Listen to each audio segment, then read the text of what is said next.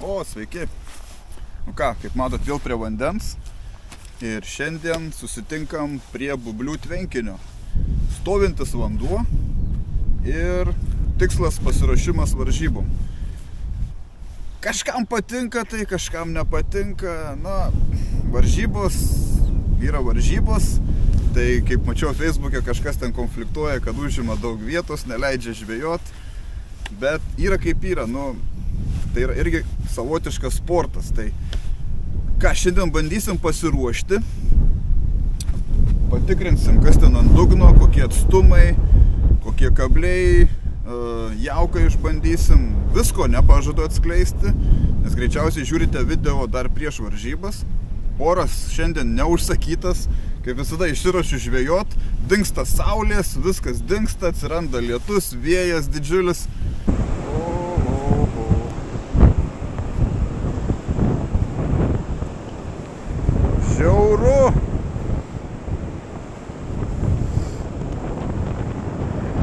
Žodžiu, kažkaip šiemet ant orų tai tikrai nepataikau. Na bet ką darysi, reikia. Turiu laisvą dieną, reikia kažkaip pabandyti, pasižiūrėti telkinį. Yra besitreniruojančių. Irgi ruošiasi. Tai ką, mažiau kalbų, daugiau darbų.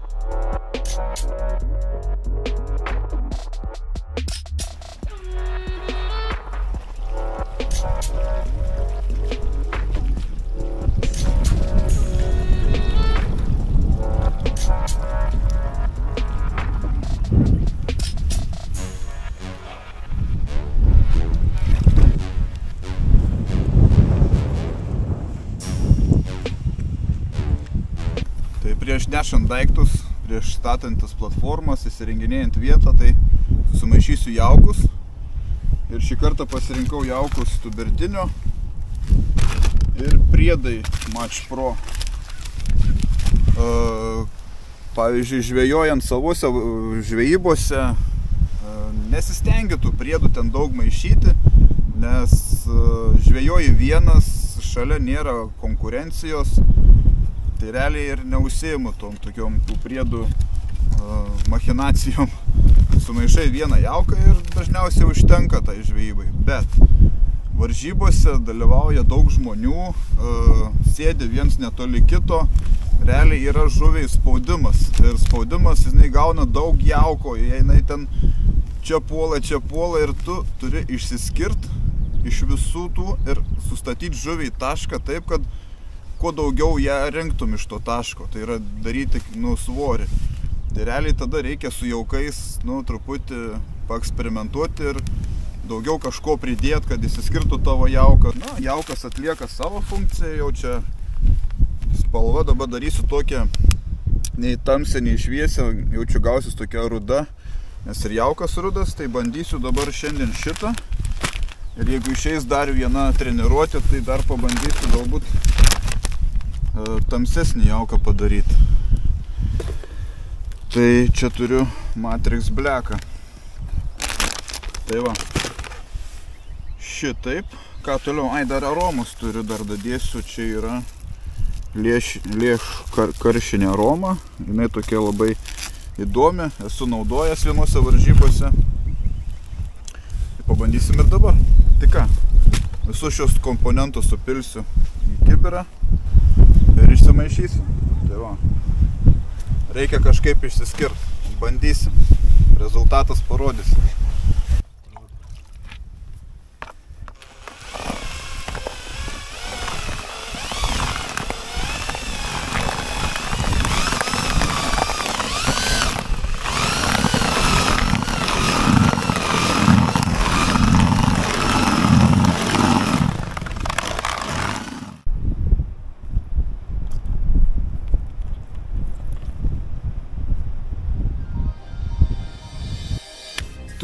Naujienų, draugai, mėly.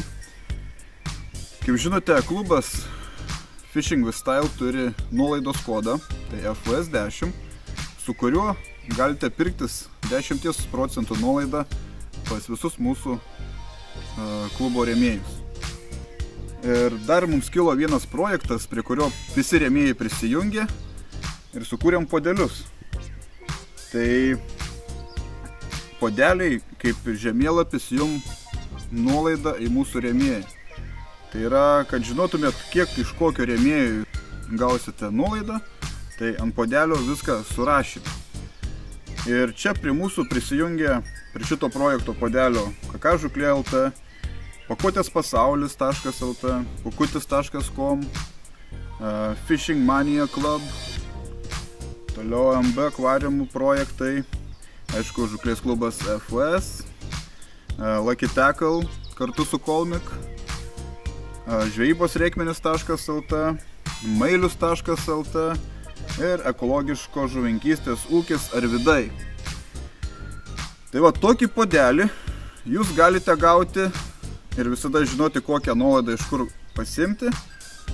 Tiesiog mumis sutikę žvejyboje, gal degalinėje, gal kažkur gatvėje sutiksit. Aišku, nu, jeigu turėsim su savim, tai tikrai visada duosim jums podelį nemokamai. Tiesiog priejo, sakyt, o, sveiki FS, kaip laikotės, sakom, o, sveiki, viskas tvarkoj, prašom jums padelis, naudokitės nuolaidom, gerkit kavą ir taip toliau. Tai va, tiesiog prieinat ir gaunat dovanų. Tai va, dar ką noriu paminėti, kad čia yra likę vietos ant padelio. Ir kas norite čia matyti savo įmonės, nežinau, kažkokio verslo ženkliuką savo, galite su mumis susisiekti, sutarsime, aptarsime detalės ir jūsų, kaip sakant, logo atsiras ant padelio.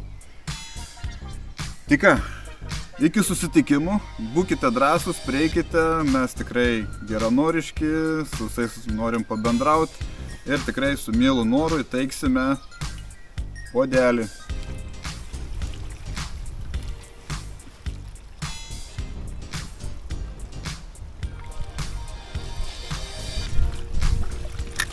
ką ieškaus dugno? Tikrinu. Radau tokius akmenukus šiaip planuoju darytis distanciją kad būtų tikrai patogi. Tai bandysiu gal kažkur apie 30-25 tokius metrus darytis ir žiūrėsiu ką iš ten įmanoma padaryti. Nes iš kur arčiau žuvį trauki, tuo tu turi pranešumą. Ir greičiau ją renki. Tai taip prasi, prasičekinu.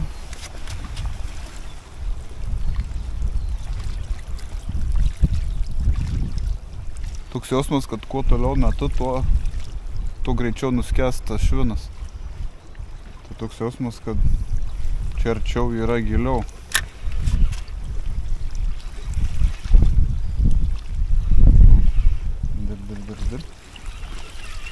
Čia pasidarys atstumą, čia grinai prieš, prieš tą drebėjimą bus.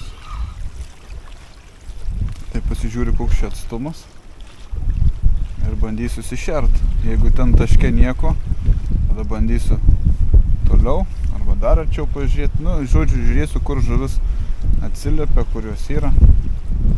Kažkaip taip. Vienam yra sunku iš tikrųjų prieš varžybas čia sėdėtumėm tiek, kiek ko ten sėdi, kebros, būtų lengviau.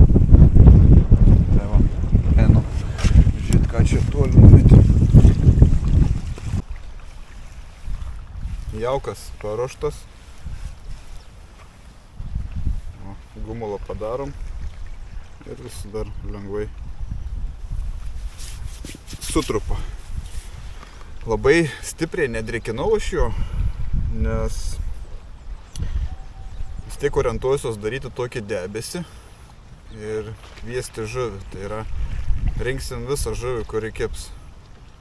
Planas toksai, nesiorientuosiu į stambę žuvį, bet e, kad surinkti kiekį ir aišku, e, pritraukiant žuvį visą, dažniausiai yra atplaukia ir didesni egzemplioriai. Bet dabar pats tas toksai startas, kad kuo greičiau e, žuvį pritraukti. Ir Toliau galima po truputį dadreikinti jauką. Tai yra gaudai, gaudai ir po truputį dadreikini.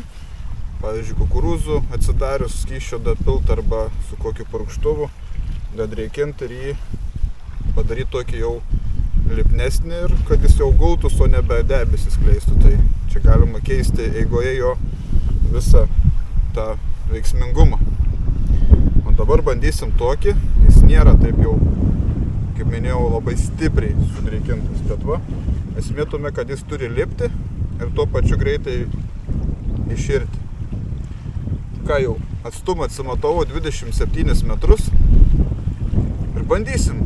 Šeriu, nežinau, kokias 5-6 šeryklas, e, vien tik su jauku turbūt, o su gyvais matysim, gal po truputį paskui padavinėsiu, dabar pažiūrėsiu su jauku iššėrus iš karto, kaip jaukas kvies. Galbūt kokią vieną, dvi šeryklas išpurtysiu viduriniam sluoksnį, kad debesis toksai va, kristų jisai.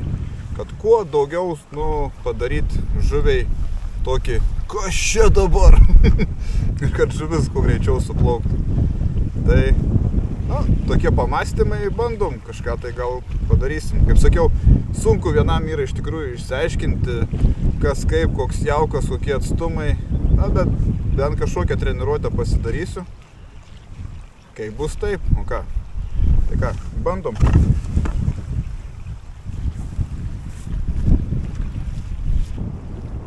eilinį sykį palikau, bet šito daiktų dar nesu palikęs namie, bet šį kartą palikau. Aš turbūt, kai filmavau unboxingą, buvo į dėžę įkišau, tai ir liko su dėžė. tai feeder armo neturiu šiandien. Tai iš alkūnės pasidariau va, šiokį tokį, vienai meškeriai. Čia įkišau dar stovą Tai va, kaip išsisukti iš padėties, jeigu feeder armą palieki. Na, aš toks kartais. Manau, kiekvienas kažką namie paliekam, tai čia. Bet šito daikto dar nebuvau palikęs. Nu, visada būna pirmi kartai. Varžybose yra uh, taisyklės. Ir viena iš tokių tai yra, kad būtina gaudyti inline sistema ir kitokios negalima. Tai kai šeryklas lankioja ant pagrindinio valo. Trūkus valui, kad šerykla nukristų, o žuvis su kabliuku plaukėtų savo laisvai. Tai va. Ir kaip visada žvejoju savo uh, sistemėlę, tai su feeder gamu 0,8 feeder gamas storio.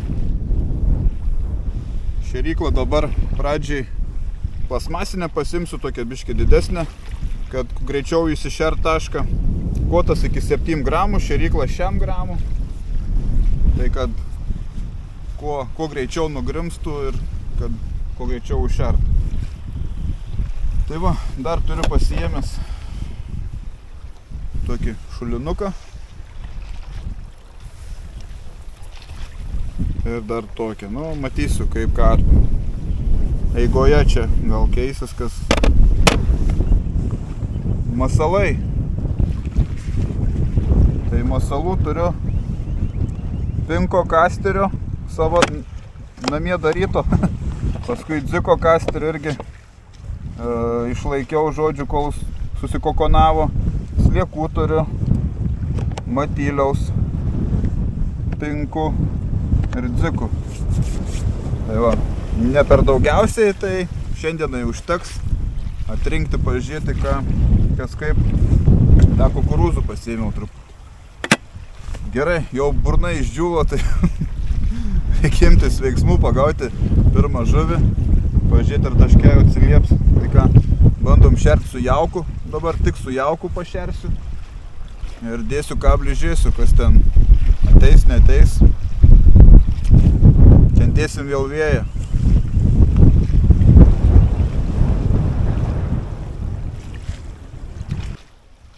kokį kabliuką dėti. Net neįsivaizduoju, neįsirenku. nu, kokį nors uždėsmą. Nu, endendių paparmalių. Pataikiau sode light. Dėsim mažiuką kabliuką. Mažiuką tokį. Mažiuką, mažiuką. Pagausim didelių žuvį. Gerai. Jau pasišėriau. Dedu kabliuką. 8 cm bandau. Kaip kvep. Tas priedas, kurį jums rodžiau, March Provo. Tai žiauriai tokį cinamoną turi, tai mm -hmm. Pažiūrėsim, kaip suveiks. Šiaip tą receptą jauko ne iš lempos aš čia. Jų taip. Nes šitas receptas man suveikė vienuose varžybose. Tai dėl to ir dabar bandau. Pažiūrėsim kaip čia veiks. Nes va ir šitą aromą naudojau tenais. Būtent cinamono. Nu ką, bandom jaučiu ant matyliaus. O paskui matysim. Šičia esu irgi gaudęs prieš, nežinau, gal kai 3-4 metai gal. Na, tiksliau parašysiu čia kur nors apačioj, nes neatsimenu dabar. Tai teko dalyvauti čempę. Tai buvo pirmas etapas šį bubliuose. Gaudžiau asmeninę įskaitą. Šį visai neblogai sekėsi. Man kažkaip stovinčiam vandenį labiau sekasi. Negu upiai. Upiai dar reikia, kaip sakant, košės pavalgyti. Tai va, bet manau reikės ir upiai kokiuose varžybose pamėginti sudalyvauti. Nu, bandom tokį pučioką.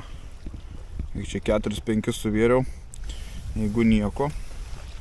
Mat, to gyvų dar nededu į jauką. Nu, pirmas metimas. Gal ir vėjas dangs jau, ir saulė biški nori pasirodyti. Peikiau, peikiau tą dieną gal visai gera bus.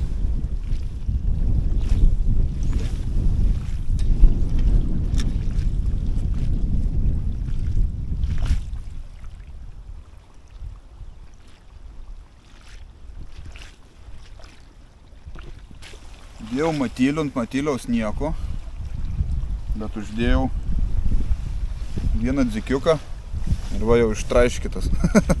Turėjau kibimą ant dziko, bet nepakirtau. Reiškis, matyliaus nenori. Bandom vėl dziką. Dar jaučiu vieną didesnę šeryklą paduodu ir paskui keisiu į mažesnę šeryklą.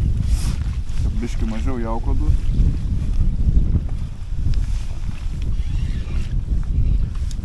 Jau yra gerai. Tai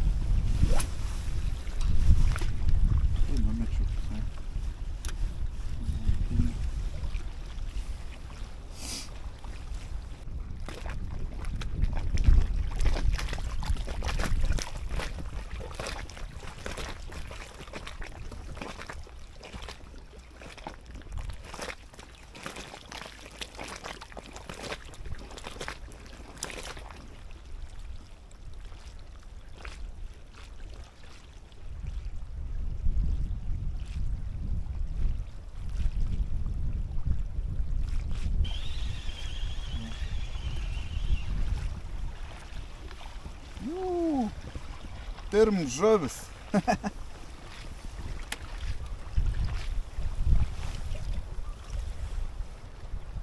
o kairėjus.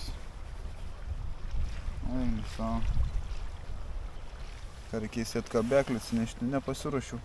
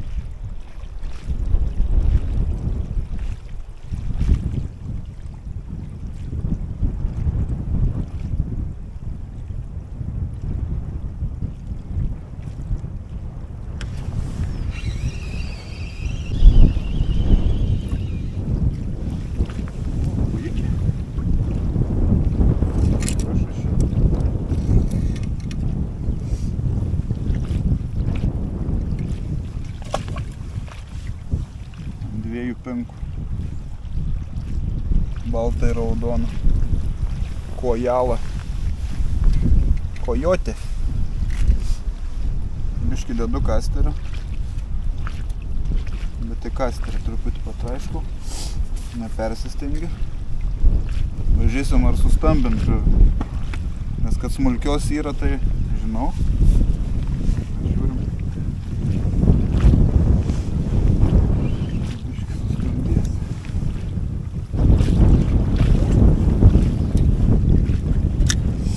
Vėjas sunku, sunku išmest. Šoninis.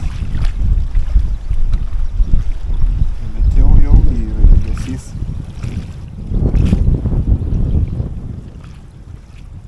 Iškart.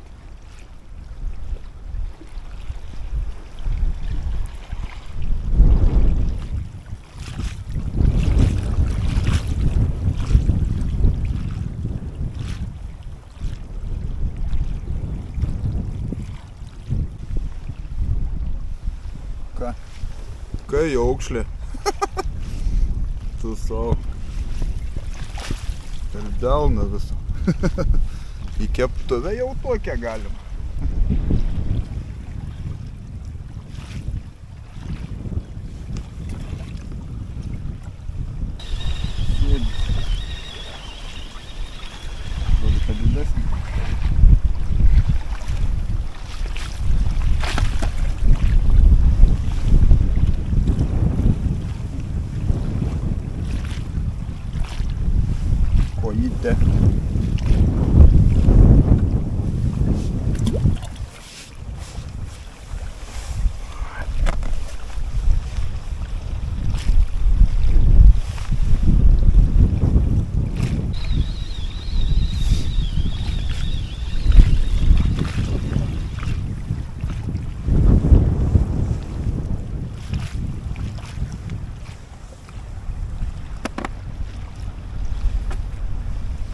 Que Tucas.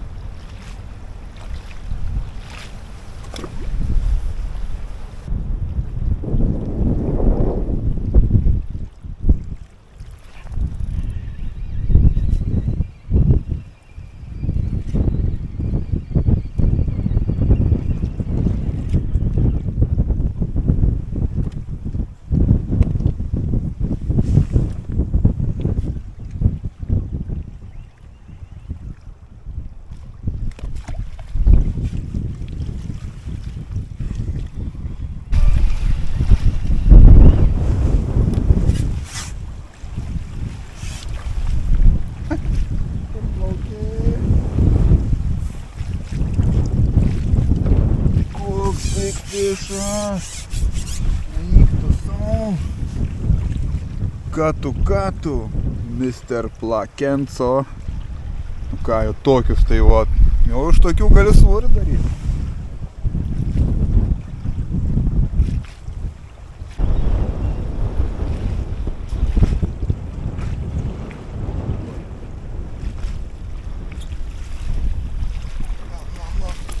Nu, tai specialiai turi spardytis.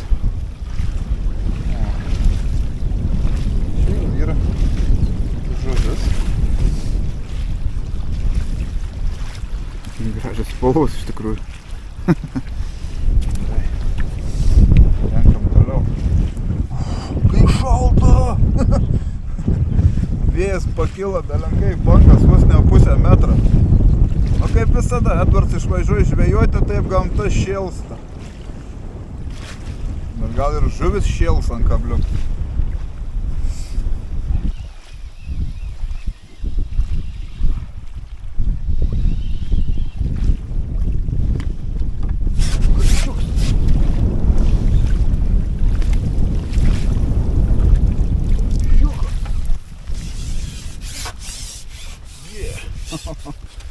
Vo. Vo. O čia tai jie. O jau iš tokių svorį daryti. Jau yra gerai. Aišku. Čia aš vis sėdžiu be spaudimo realiai. Ten žvėjai toli. Čia dar vienas atėjo. Tai realiai, nu, irgi negaliu pasakyti, varžybose vėl bus kitaip. Bet jau maždaug kažką jau, jau, jau, jau, jau. Į gerąją pusę, jeigu jau karšiukas atėjo. O, kiek gleivių. Fu. Tu tai nekenčiu gleivių karščių. Papozuojam. Yes.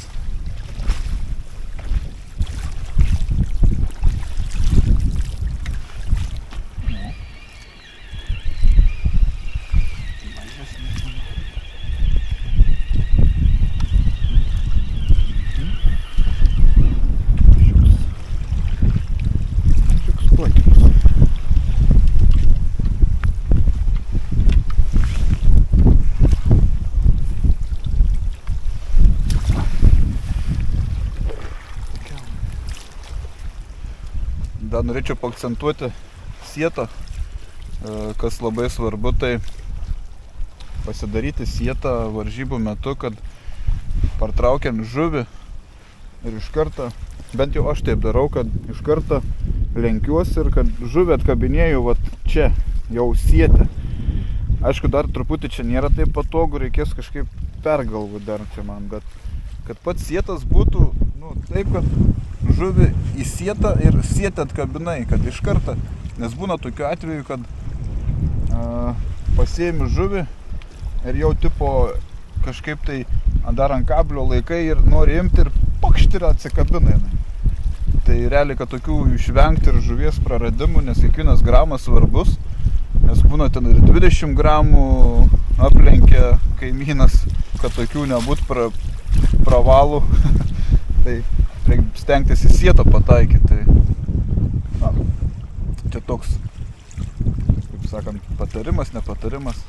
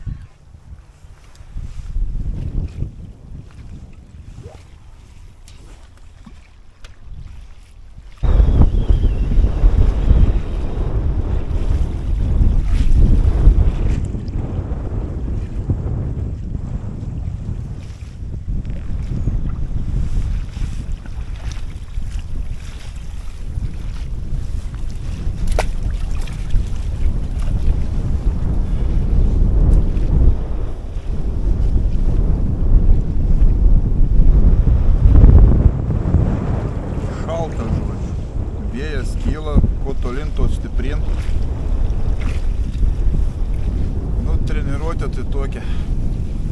Oras, nu, visai nesmagu. Bet žuvį renku. Nestebuklai, bet kažką tai, kažką tai krapštau po biškį. Tai va, nežinau, nu dar turėsiu treniruotę prieš varžybas, tai gal, kaž, gal bus geresnis oras ir galbūt kažką daugiau atrasiu. Dabar taip tokia žvalgybinė,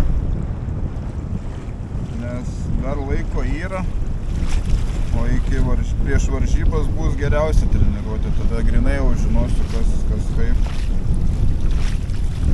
Dabar tai tokia dar žuvis lyg lyg yra taške, lyg tai, tai ima, tai, tai vėl tai realizuoju, tai ne. Nu, žodžiu, smaginami.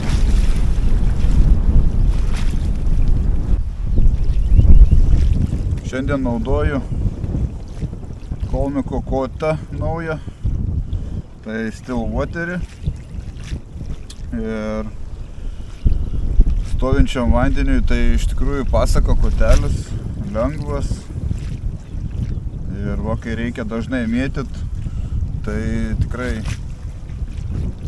tas e, lengvas svoris tai yra tikrai didelis privalumas. Kai va tiek jauko, kiek buvau išsimaišęs, suvariau nu, ant smūgio realiai, tai metimas dažnas, kai reikia va mėtyt, mėtyt ir ranka visiškai nepaskausta. Ir šiaip su žuvim puikiai dorojasi, aišku, nebuvo čia tų didelių žuvų, bet tos mažos žuvytės, nu, pakirti jauti, žinai, kad, kad turi žuvį. Tai va. E, 360 ilgio jisai, 70, iki 70 gramų. E, Perkrauti dar nebandžiau, dar manau ateityje patestuosim, kokių test metimų padarysim. Iš tikrųjų tai blankas jojo labai plonas. Šiaip kiek turiu vat, kotų kitų gamintojų, tai šitas, e, kurį dabar pasėmiau, tai realiai jo pats o blankas yra pats, pats ploniausias, ką turiu iš kitų kotų, palyginant. Tai ką daugiau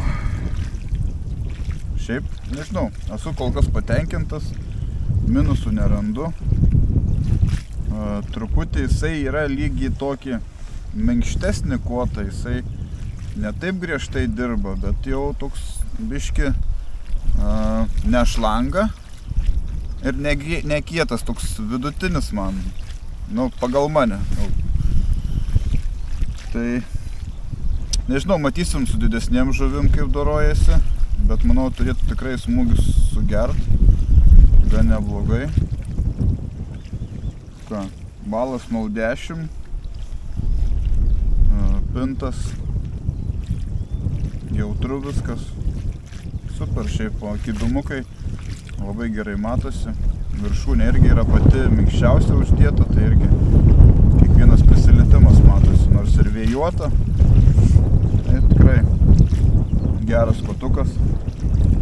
Matysim per varžybas dar pagrajisim su juo, tai matysim kaip jis darbuojasi. Duosim, kaip sakant, padirbti jam.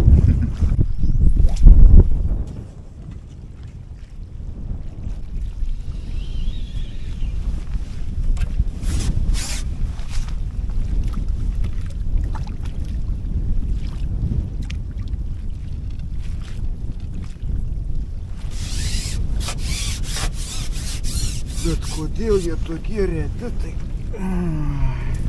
nesistoja taškai. Kažkodėl.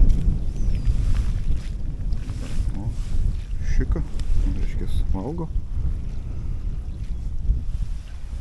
Kodėl taip reti svečiai, tai... Nu ką, mėly draugai, atėjo lašnot. Ir baigėsi mano jaukas ir ruošiuos namo. Žodžiu, klausimų daugiau negu atsakymų šiandien, bet taip ir turi būti realiai, nes šiaip yra dar laiko daug. Čia tokia kaip ir žvalgybinė. Jaukas kaip ir dirba, viskas tvarkoj. Žuvi stato į tašką. Tik va gaila, kad karšiukai tokie prašokantis, tai du pagavau tai labai, nu, va, vienas, nu, reti ta prasme labai. Tik kelis te pavyko pagauti. Taip tai smulki žuvis. Nu, tai nepasakosiu, kas ant ko kaip, kas geriausiai veikia, manau. Steigita varžybos. Aišku, nu, stebuklų neprigaudžiau. Kaip ir minėjau, pagrindinė bus treniruotė jau prieš varžybas, tada bus daugiau, daug aiškiau, nes realiai oras gali būti panašus, slėgis panašus ir žuvies aktyvumas panašus, tarkim, jeigu treniruosius penktadienį, o žvejosim šeštadienį varžybose. Čia vis tiek tokios žvalgybinės jūs, nes kažką dabar šiandien spręsti, tai kas bus po dviejų, po trijų savaičių, tai čia yra visiška nesąmonė. Čia gali tik maždaug vat, pasižiūrėti, kas kur, kas kaip. Tai va tokie reikalai.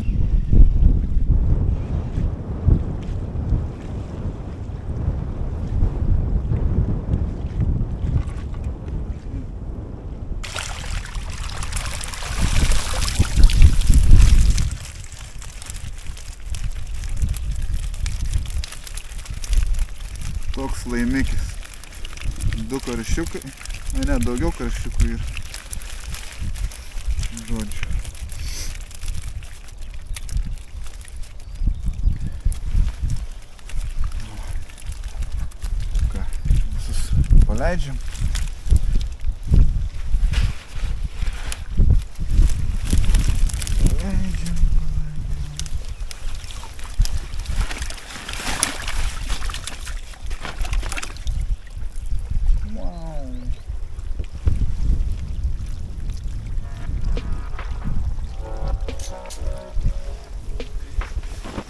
Tai ką, čia mini treniruotė padaryta, aplankytas vėl telkinys, kur- kuriame buvau seniai, bus įdomus varžybos, manau. Tai va sakau, negali čia spręsti, vat, kaip, kaip čia šiandien, vat, ten irgi treniravosi, privažiavę čia irgi buvo. Ir išvažiavo. Neaišku, kaip ten sekėsi, bus Facebook'e matyti, turbūt pasidalint, kaip sekėsi, tai va. Man sekėsi taip, per penkias valandas, nu kiek čia, nu nedaug, bet sakau, šiandien tokia diena, kita diena bus vėl kitokia, sakau, dar kelios savaitės iki varžybų ir parodys treniruotę grinai prieš varžybas. Pasikartosiu dar kartą. Tai, tai va, buvo vis tiek smagiai. Ir ką, prenumeruojam kanalą, spaudžiam patinka. Ir ačiū, kad žiūrit. Ir iki kito susitikimo. Turbūt sekantis iki gal nebus to vėjo, nes jau užknisu rimta jau. Kiek atvažiuoju, arba vėjas belenkoks, arba lyja, arba vėtrus, uraganai, kročią šiemet man nesiseka. Nu, nežinau, gal bus kitą kartą geriau. Te.